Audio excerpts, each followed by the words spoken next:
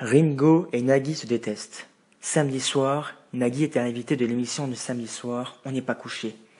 L'animateur a confié à Laurent Ruquier que le chanteur Ringo lui avait interdit l'accès à son restaurant. Il y a quelques années parce qu'il n'avait que des problèmes avec les Arabes. Il me l'a dit les yeux dans les yeux.